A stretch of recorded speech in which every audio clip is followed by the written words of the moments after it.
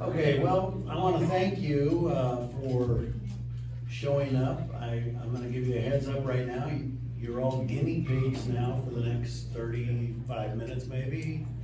Um, the, the presentation that I'm giving today is a collaborative effort by members of the Tri-Presbytery delegation of Iowans that went to the U.S.-Mexico border in Douglas, Arizona back in, in November.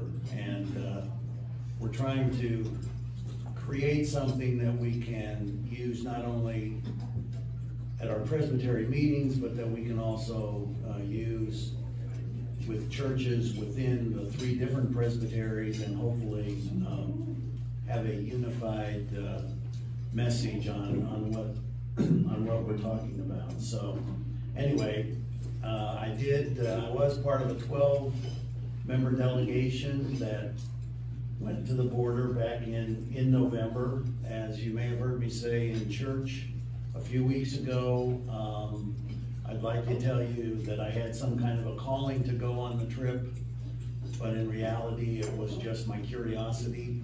Um, I was tired of just watching it on the news and worse yet, watching political commercials talk about, about the border, and I wanted to see it for myself. Fortunately, this trip uh, was to uh, Douglas, Arizona, which is in the Tucson sector of the U.S. Customs and Border Protection Agency, which is part of Homeland Security now. Um, the Tucson sector of that agency is the busiest sector in that agency. Just for your edification, it is not the Rio Grande in Texas that is the busiest. That's simply where certain politicians and the media go, in my opinion, my humble opinion, uh, because it's a better photo shoot and it's easier to do and there's lots of noise there. Um, we went to a place that's actually the busiest uh, sector, or part of the busiest sector, uh, to Frontera de Cristo, which it's one of four ministry sites of the Presbyterian Borderlands Ministries. And it's a joint project of both the PCUSA and the Presbyterian Church of Mexico. And Frontera de Cristo has been around since 1984 in Douglas, working at the port of entry there, which was one of the first ports of entry um, on the U.S.-Mexico border, and it will be 100 years old soon. And uh, Frontera de Cristo is part of our mission work that uh, will be celebrating its 40th year uh, this year. Frontera de Cristo is located in Agua Prieta, Mexico, and in Douglas, Arizona. So it's south of Tucson, an hour and a half maybe or so, in a nice van. Maybe not quite so nice, but. Uh, here you'll see the, the uh, key staff of Frontera de Cristo our two PCUSA mission co-workers, Mark Adams and Miriam Escobar. Uh, Mark migrated uh, from South Carolina uh, to the Mexico border uh, 25 years ago now or so, and uh, other than to visit home, uh, he has lived on the border ever since. He's married to Miriam Escobar, who is Miriam was born in southern southern Mexico, uh, and they've been married now for over 20 years. Joca Gallegos, uh, Joca, that's it's pronounced uh, just like the shoe company. Uh, she has been she she went to seminary in Mexico at the Mexican uh, Seminary for the Presbyterian Church and graduated 21 years ago Unfortunately, the Presbyterian Church in Mexico has not yet got to the point of ordaining women, but I'm happy to report that after twenty-one years, um, she got a call to a Presbyterian church in Arizona, and she was ordained as a PCUSA pastor back in December. So it was great to, to meet her. Unfortunately, we didn't get to spend as much time with her as we really wanted to, but this is just a picture of the staff and, and the board of Frontera de Cristo. They're just a wonderful group of, of individuals. The mission of Frontera de Cristo is to build relationships and understanding across borders. So here we are at the wall.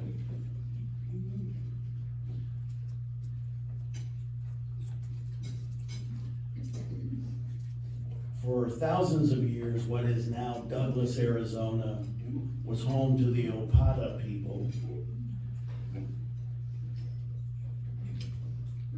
In the 1500s, the Spanish came and claimed that region for Spain. In 1821, um, the Mexican War of Independence came to a conclusion, and that region became known as Mexico. And then in 1854, the U.S. purchased that area, and then Arizona became a state in 1912.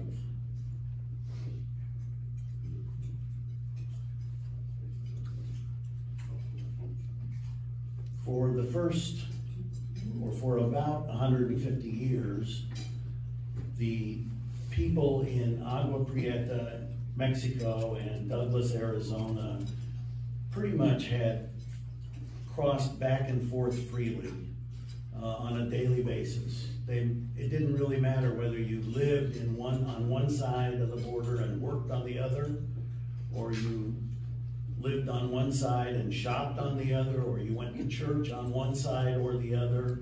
Uh, they could, until about 1994, and we'll talk about that a little bit more later, uh, they could pretty much just go back and forth across, across the border. Here's a picture of the wall on the Douglas, on the US side of the border. Uh, You'll note the razor wire on the fence. Keep this picture in mind, what this looks like, because you're gonna see something totally different in just a minute when I show you what it looks like on the Agua Prieta side of the border, right there.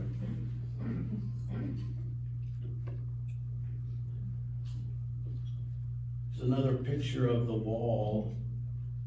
This is from several miles outside of town, looking back to the west. The estimated cost of building a mile of the wall uh, can be as much as twenty million dollars a mile, depending on where along the twenty-three hundred mile stretch of the US-Mexico border to the Gulf, just depending on the, on the terrain and whatnot. There are areas where it costs significantly less, but it can cost as much as twenty miles, I mean, twenty million dollars a mile. Yes, Who do they have actually built the wall? those are, those are, it's all done privately. I mean, it's private contractors, just, and Okay. normal government contractors. Yeah, I know. I forgot to mention, um, if you can, hold questions till we get through this, all right? That's all right. Um, I forgot to mention that, but, uh 'cause cause we really don't know exactly how long this is gonna take, but anyway. Uh, the total cost for the wall is estimated to be forty to seventy million dollars. Uh, and the annual, and the annual maintenance is estimated to be around hundred and fifty million dollars a year. So, and, and keep in mind, the wall we're talking about now is, you know, is the new wall that replaces the wall that first started in 1994 under uh, President Bill Clinton. Keep those costs in mind as well because we'll come back to that. Okay, so now we're going to move to the Agua Prieta side of the border, which is where we stayed, by the way, in the Presbyterian Church. We were housed in the Presbyterian Church there Wonderful people. Every morning we got up and got dressed for the day and went out and some women in the church had uh, prepared a different breakfast every morning of the week for us. We, we became very close friends with those folks. And what the folks in Agua Prieta decided was the wall, it was very nice of the US to build this nice wall because it makes for a nice canvas. And for many miles cutting across the city of Agua Prieta where the wall goes, you will see um, these wonderful murals. One morning, as part of our Bible reflection time, we all went down to the street where these go, and uh, we did a individually. We each took our own uh, prayer walk that morning to see as many of the murals as we could. Oh, here's our mode of transportation for the week. This got us around town on on both sides uh, of the border. So why are there so many migrants at the U.S. border at the present time? Well, we've got to start by looking at the root causes of migration. The main reason right now for migration from Mexico and Central America to the United States remains one of economics. Um, in the 1990s, for example, when the price of coffee beans dropped by like 400%, uh, coffee farmers and coffee farm workers from southern Mexico needed to find work elsewhere, and many of them came north. Uh, in the 18 in the 1980s and up through the 2000s, the Border Patrol primarily was apprehending men uh, from Mexico who were seeking jobs. And then in the last decade, it, it turned more towards where you have large numbers of women uh, and unaccompanied minors that are looking to get out of countries and places in Central and South America to get away from violence and to seek asylum. So we have, you know, the economic issues, the poverty that, that they experience, and the violence that are at the root cause of migration. And the last one is just that you now have so many families that are divided, where a part of the family may have come to the U.S. some time ago, and the rest had remained in, in Mexico, and they want to be together.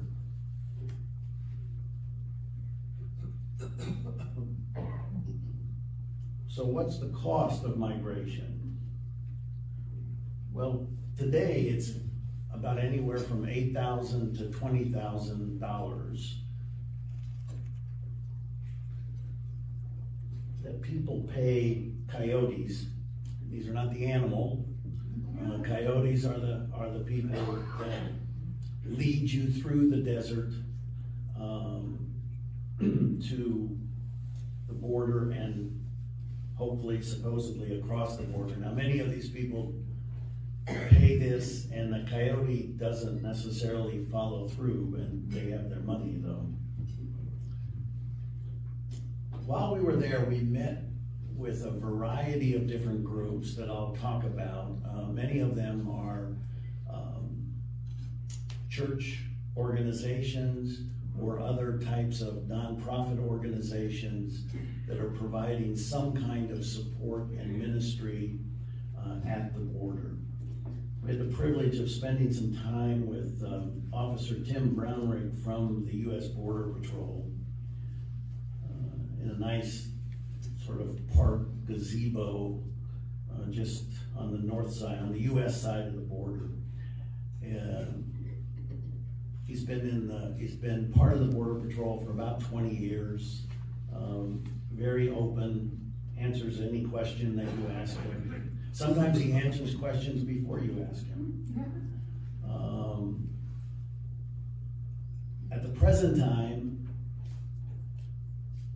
what, what's happening now is that a number of the migrants, substantial number of migrants, and I'll talk more about why in a bit, but a substantial number of migrants cross over the border.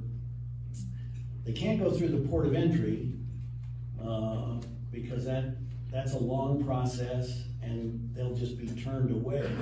So the reason that they go somewhere where they can get around or through, um, the wall is because they want to get to the US side and then they, they don't want to just go somewhere.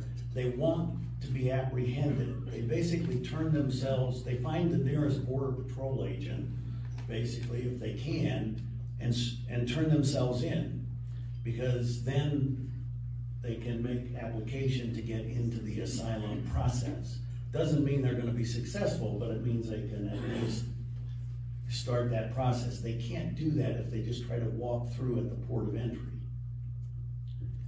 Um, once they do get in and they're processed, um, they can then be released. Once they have been processed and they have a court date to return to an asylum court setting, um, then they can be released into the US generally to another family member that's already in the US or some organization that might be sponsoring them or provide sponsorship.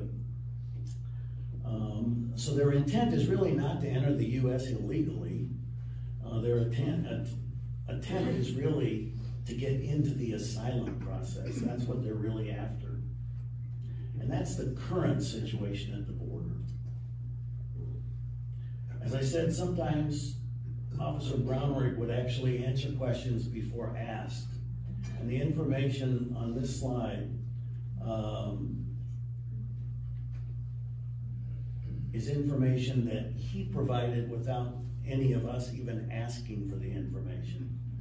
Ninety-nine point five percent of the smugglers on the border are actually already US citizens. They're not Mexican or Mexico or from some other place in Central America smugglers. They're already US citizens. Less than five percent of the migrants that are attempting to come across without proper documentation right now, um, less than five percent, percent of them actually have some kind of a criminal, um, history when they're, when they take a look at that. And he also pointed out that he has never encountered a suspected terrorist at the Douglas station. That might come as a surprise to some politicians, but I'll try to be good, Nancy, don't worry. Uh, My, my wife often reminds me, please don't do anything or don't say anything that, that your daddy wouldn't have done. My dad, my daddy is right here, because this is one of many of his crosses during his forty years in the ministry that, that were left behind to me. Um,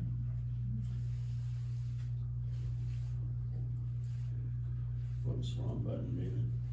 Okay, so now you heard a lot in the last year or more about Title forty-two. Um, Title forty-two is a portion of our federal law, our federal code that deals with public health and welfare.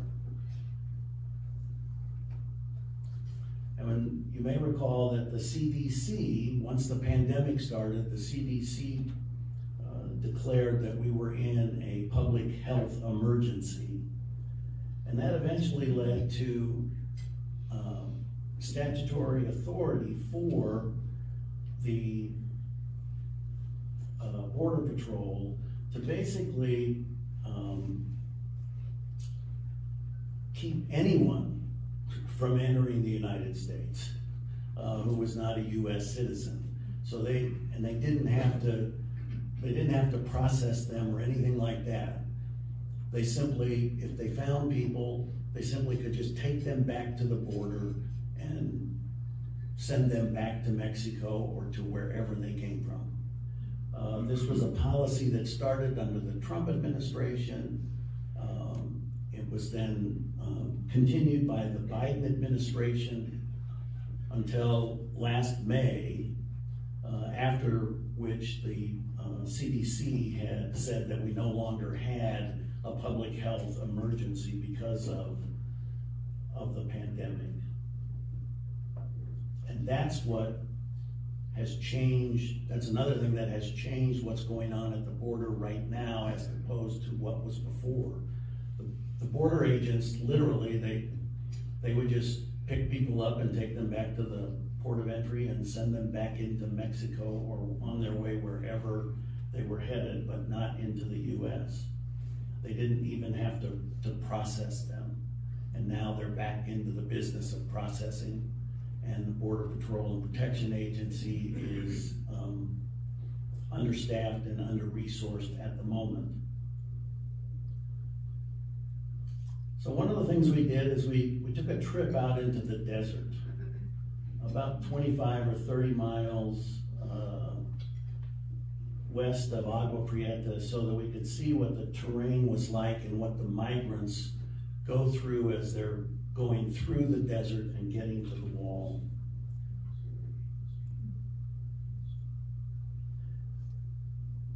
While we were on this trip to the wall, uh, we stopped at what the migrants referred to as the tree of life to have a time of biblical reflection and prayer and a picnic meal with the agency that was taking us that day to the wall. The tree of life is, I have no idea how big it is. It is humongous. Uh, and it's called that because it provides shade uh, and protection to migrants during summertime when they're trying to go through the desert. We listened to stories while we were there having our meal.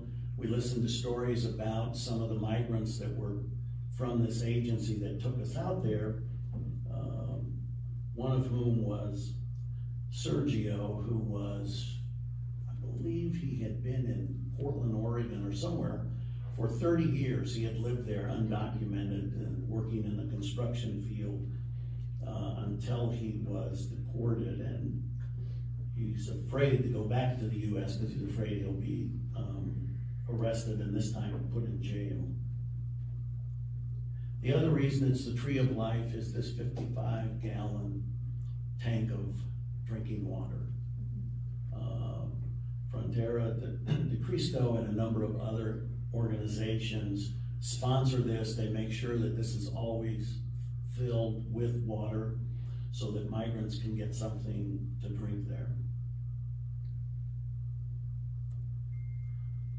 So we're heading out into the uh, and fortunately, they drove us not too far from where that tree is. They drove us in, got off the highway and drove us into the desert a ways. So ultimately, we were we only had to walk maybe the last two miles to actually get uh, to the wall and the border. If you look closely, let me see. Well, yeah, you can see it better. You can see it better than I can. Uh, you can you can see the wall that we're that we're headed towards there. And you also get an idea of um, the terrain that, that these people go through. Uh, it's, it's a beautiful area, but it's also very rugged and it's very challenging. Um, there's no easy way to get through the desert, to get to the border or to the wall. There's, you know, there's no path. Um, there's no directional signs. Um, and there's certainly no quick trip or come and go or whatever to stop and, and get some water and, and have a bathroom stop. And so you can imagine, and the only thing that's out there are bushes and trees. And for some reason, they're all bushes and trees that have sticky things and whatnot. And so everything in the desert can actually hurt you. And the terrain is uneven. And you have to stop and think about these people trying to do this, you know, in the dark. Because most of the time they're trying to move at night, not during the day for a variety, a variety of reasons. But anyway, so it, it's, and I was amazed, I mean, we, we did have, um, one member of our delegation, Sylvia, Sylvia's eighty-five years old. And she made that walk. Now, of course, she kind of had her own private coyote, because one of the, one of the members of the, the organization that was leading us that day made sure that uh, he followed her and got her to, got her to the wall. So eventually we, we made it to the wall. Um, it's 30 feet.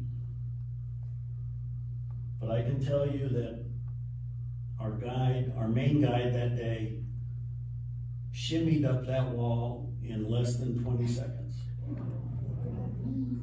It's amazing. I mean, by putting his feet, you know, between the different columns and holding on, was, it took like less than 20 seconds for him to shimmy up that wall. Now, I point out, this is me. Every time you see one of these slides, probably if you look for that white hat, you'll find me. But anyway, um, this is me, and I'm standing over by an area right over to my right there, which looks like this when you enter the United States illegally. There I am coming, there I am entering the United States illegally. Um, had the Border Patrol been nearby and picked me up, uh, I would have been subject of a $5,000 fine, which, as I told Nancy on the phone that later that day, that I would have been very happy to pay the $5,000 fine just to show this slide to someone. Mother Nature doesn't care how high you build the wall.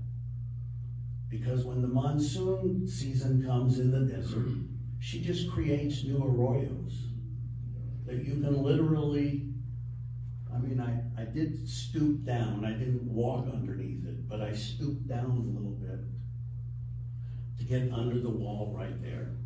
And so I wouldn't need to shimmy up the wall. I could just go right under.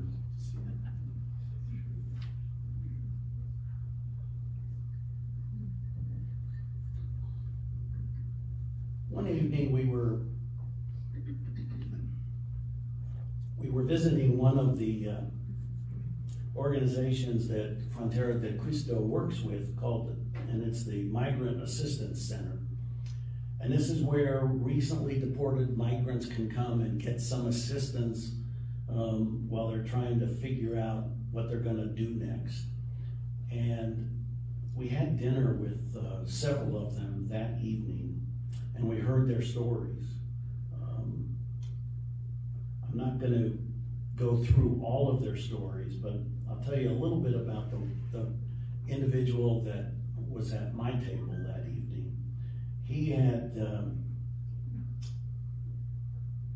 he had been with a group.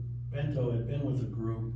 He had paid eight thousand dollars uh, to a coyote to get him to the U.S. And when he got to the top of the wall, he fell off, and he he broke his shoulder, his hip, and his ankle. And I'll shorten the story up, but I mean, he, uh, there was no way he could go on. Someone came along that actually picked him up and carried him to the highway, where he later was picked up by some young folks out joyriding, really. And they offered to take him to a hospital. He said, but you need to understand if, if any, any police come by and pull us over, uh, we do have guns in the car and so it could get dangerous. Well, he had no choice. He said he'd go. And they did get stopped by cops. Uh, however, um, when they asked, what about, you know, what about this guy in the back seat? And they said, well, he had a little too much to drink tonight and he passed out and we're taking him home. And thankfully, the police said, take him home now. And of course, home turned out to be the hospital. And the hospital said if he hadn't gotten there, if he'd gotten there 30 minutes later, uh, he would have been dead. But we heard some similar type stories uh, from people that were staying at the shelter while we dined with them. One of the women that was there, she actually has a visa to, to go to the United States and starting, she should be there now. Uh, she was going to wait till the first of the year. She hasn't had any contact from her son for over two years. And so she's looking, trying to find uh, her son.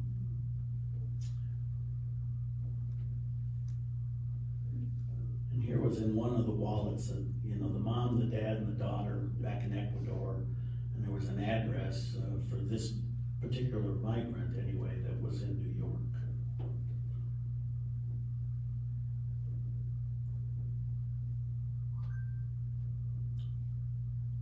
So now we move to a more uplifting phase of this, and that's to talk about the body of Christ at the border. This is Lily of the Valley Presbyterian Church in Agua Prieta. Uh, as I said earlier, this is this is where we stayed.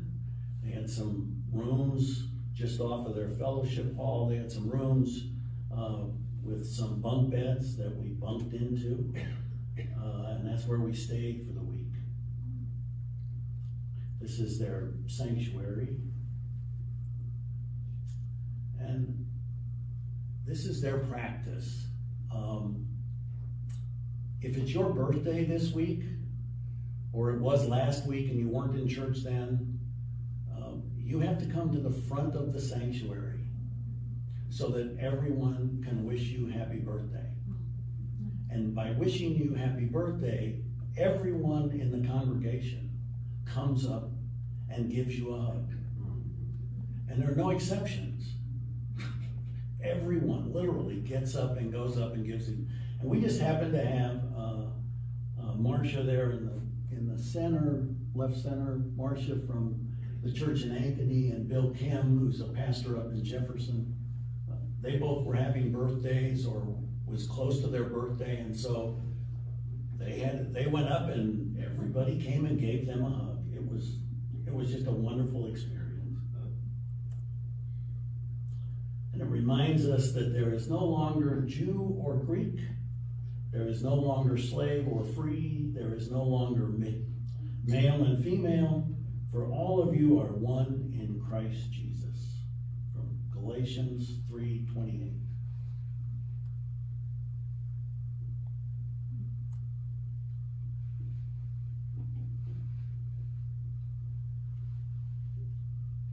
So Frontera de Cristo, as part of the body of Christ at the border, partners with a number of different agencies and nonprofits uh, in the area, both on both sides of the border. And I'm going to talk about a few of them, but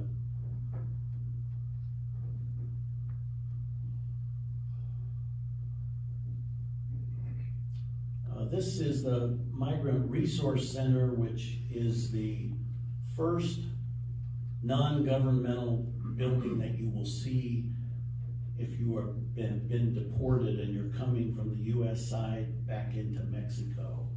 And this is a joint project with a local Catholic church where they migrants can stop, get some food, get some water, make plans for where they're going next. And most of them are going back to where they came from in Mexico.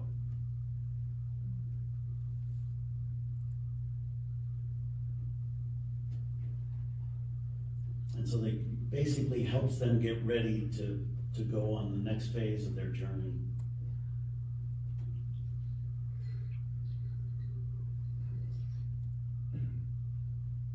Um, at the, this is the entity that we visited for dinner that night when I was talking about Bento. Uh, this is another shelter for migrants.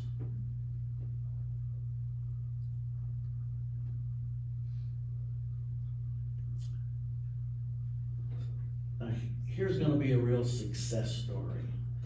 This is Cafe Justo.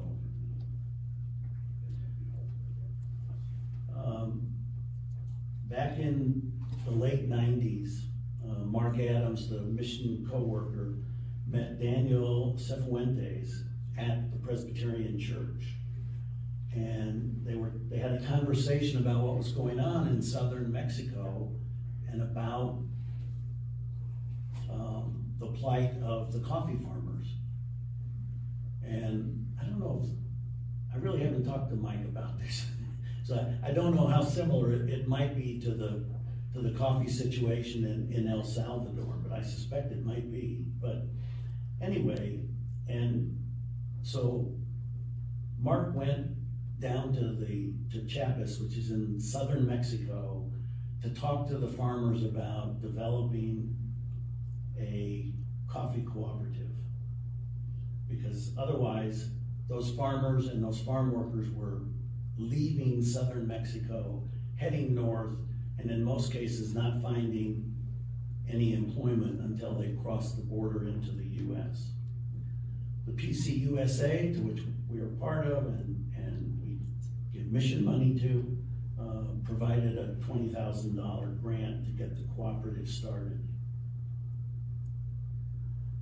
Today, it's totally a farmer-owned coffee uh, cooperative. The members of that cooperative are paid roughly three times what growers are typically paid by standard commercial operations. And these are all small operations, not, not the big ones, not the big Folgers and whatnot. And there are now 40 families that are in that co-op. Started out with two employees and now they have five full-time employees and uh, plus eight full-time employees that work in Cafe Justo y Mas, which is a coffee shop right across the street from the Presbyterian church where we were staying. Made that very handy. Uh, whoops, wrong button again, David.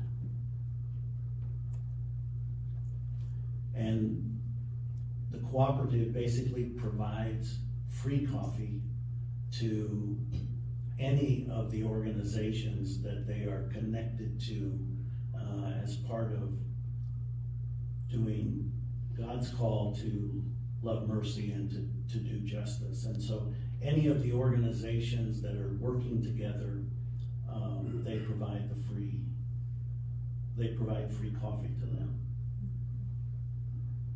Um, Capsic is another place we, uh, these are the people that actually took us out into the desert uh, to the wall and it's actually a drug and alcohol rehabilitation center that's doing work there.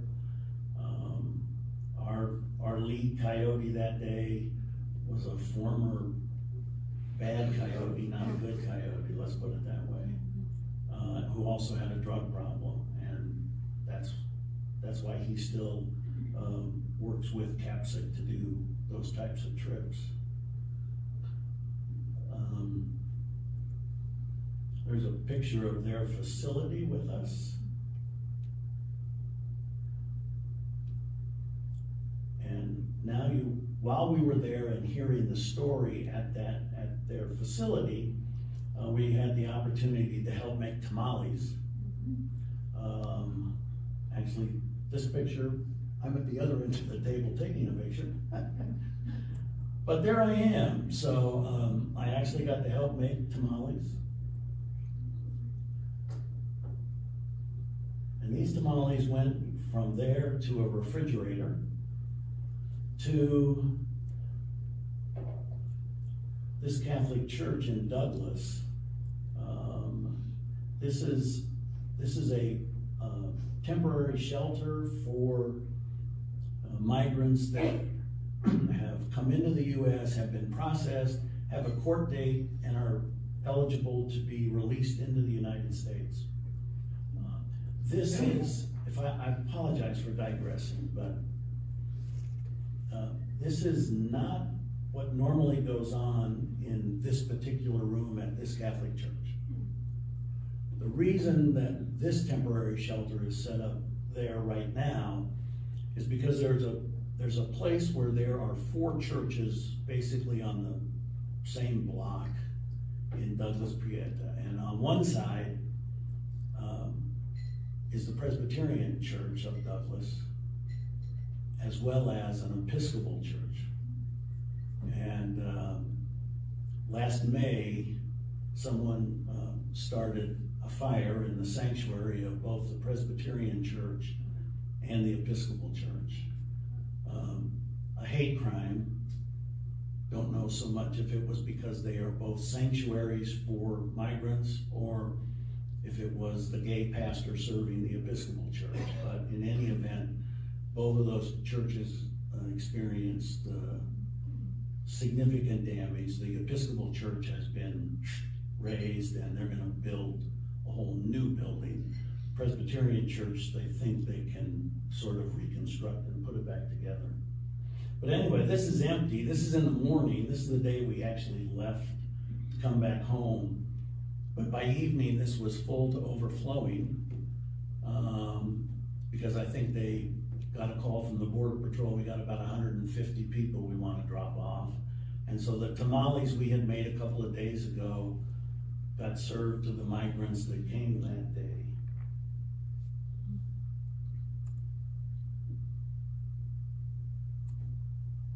I apologize now if I get emotional on this section. Um,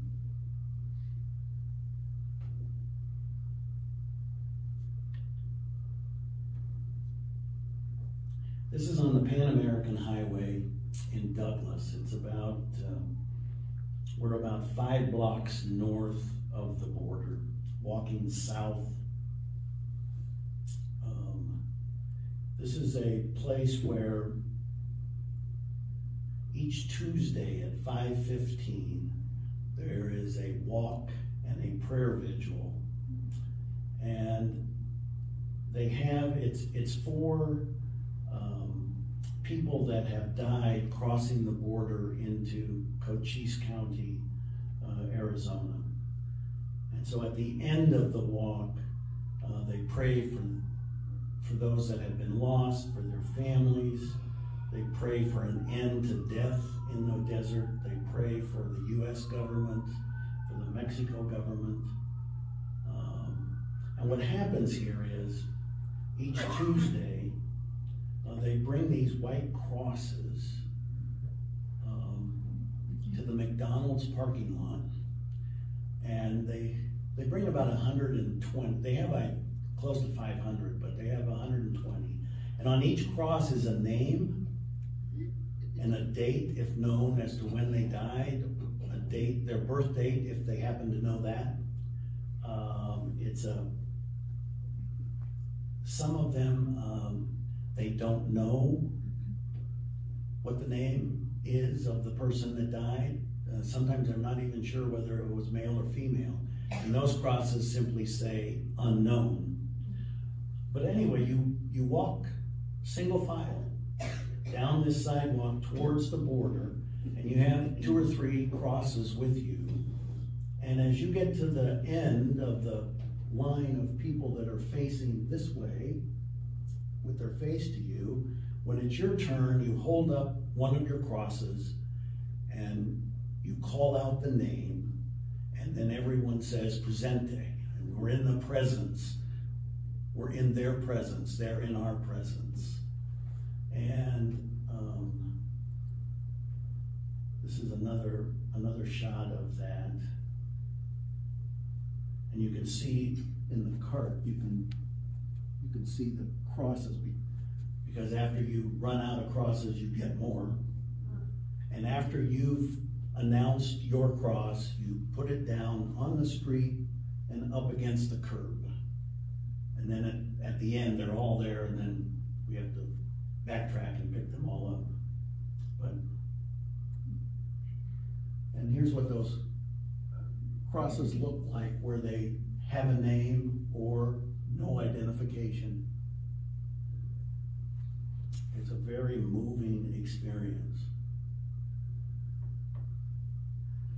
And this is at the end where they're having the prayer vigil. Now, this has been going on every Tuesday at five fifteen without fail for now over twenty years. They have never missed a Tuesday.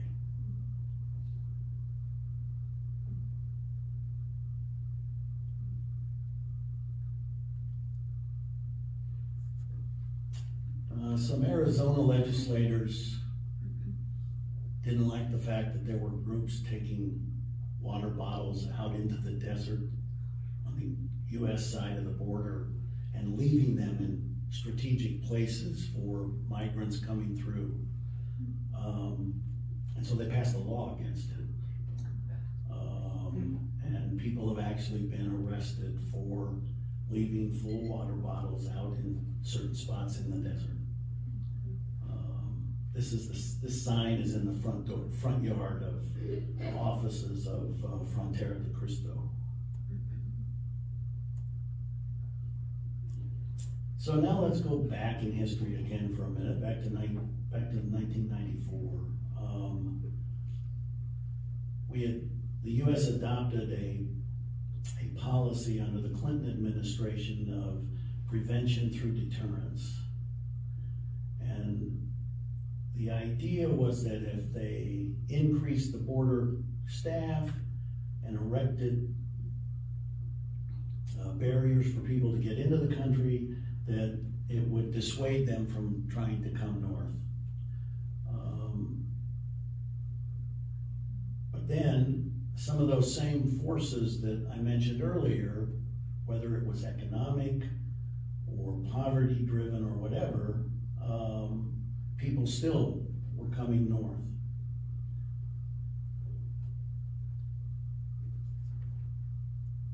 So the budget patrol, uh, the budget for the border patrol after the passage of the, uh, reform bill in nineteen ninety-six was a massive increase for the border patrol agency.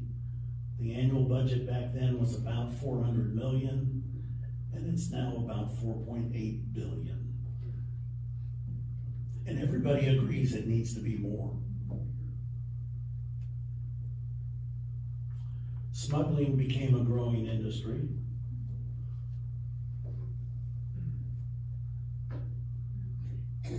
Prior to nineteen ninety-four, maybe fifty to hundred dollars got you an escort. By ninety-eight, it was up to eight hundred, and as I said earlier, it's eight to twenty thousand now.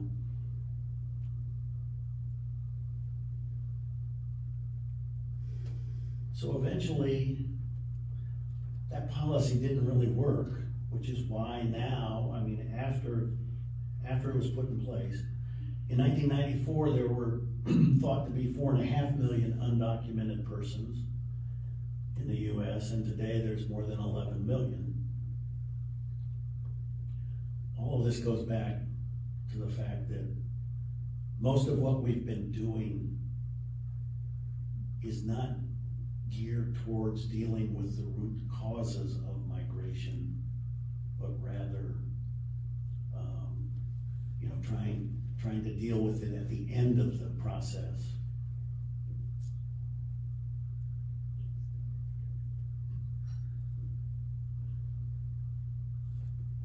But that's really the last time there was any legislation that passed Congress and was signed into law that affects the border. Since then, we, we all keep talking about it. When I say we all, I'm, I, I mean, you know, not only the people that are like our mission workers, but also politicians and, and everyone else. We, we talk, nothing has been, nothing has really been accomplished.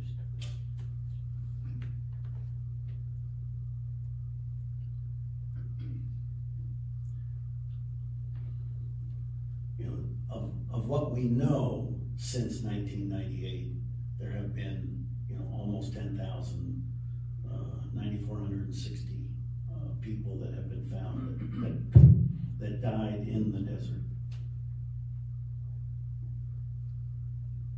Um, Raising the fence hasn't done much. Uh, as I, you can, there are ways to get around the wall or through the wall, and then also, um, you know, it's, it's increased the number of deaths from people that actually, like Bento that I was talking about, um, had that one group of joyriders not come along, uh, he, he would have died, uh, because he fell off the wall. The hospitals, uh, are, have been severely impacted, both emotionally and physically and financially. Um, It also has weighed heavy on the minds of the border patrol agents who are responsible for securing our borders. So how do we discern a faithful response?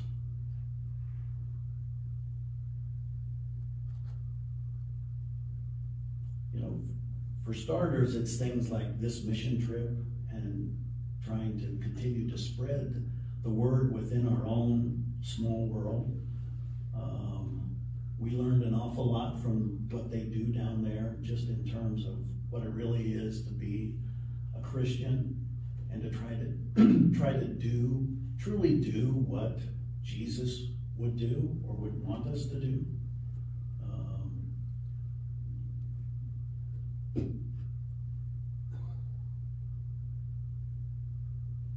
know, we need to look at things in a different way. Um, we need to work hard to try to get eventually some kind of legislative changes that will actually affect the border. Um, you know, you stop and think about like the coffee co-op.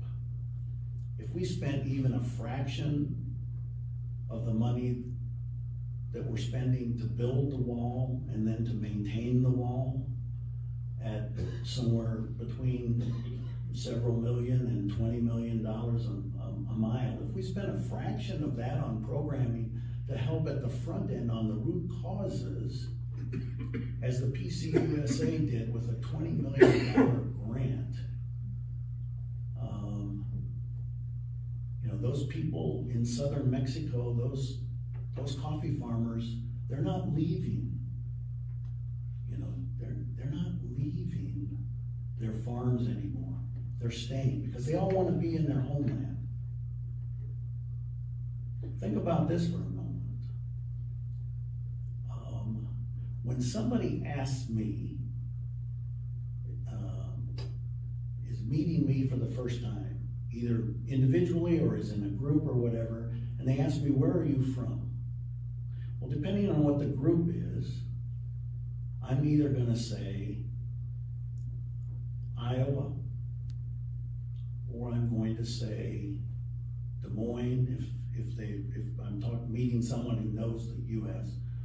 or somebody who knows Iowa, I'm I'm I'm going to probably say Johnston, you know where we live now. You talk to these people, none of them would answer that question where they're from that way. It's not it's not where they are right now. Where they're from is from Chiapas, which is southern Mexico. And then they'll say, but I have moved here for work or I've moved somewhere for to go to school or whatever it might be. They start with where they were born and raised. And that's always the first answer to the question of where you are from. I never say, you know, I'm California, I'm from California. I mean, it sometimes comes up in conversations, but, you know, I never, you know, but we're all migrants. We've all migrated. at least most of us have. I migrated from California to Idaho to Arizona and to Iowa. Now I'm an Iowan by choice after forty-seven years or whatever, I guess, that I've been in Iowa. But, uh, we're all migrants.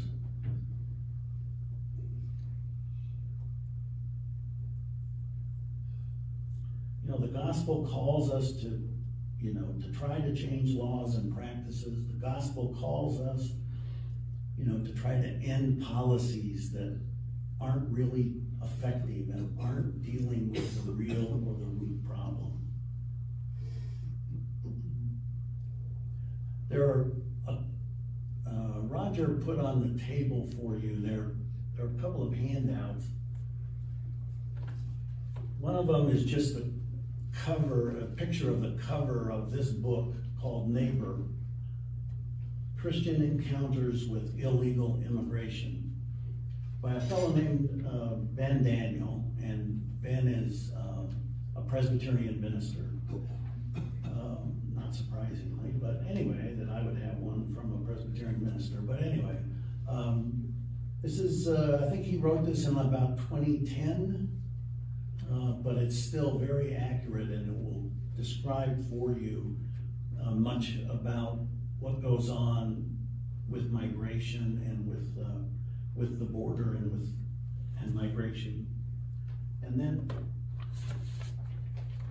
there are a few copies of um, do's and don'ts, um, and those are the those are the uh, positions that there are a, a number of organizations that have combined their resources to lobby and whatnot together, who all have the same general outlook on the issue of the border and how to solve the problems.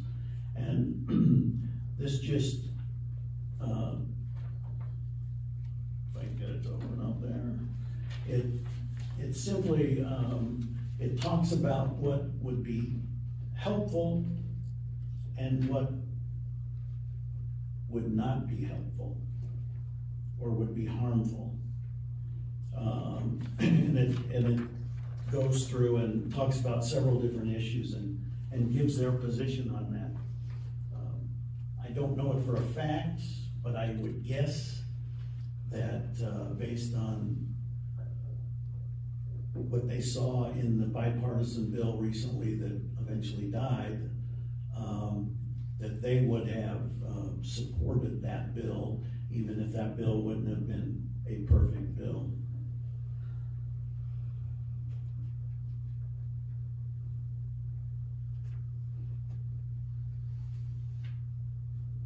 We are all migrants. Let us live as brothers and sisters.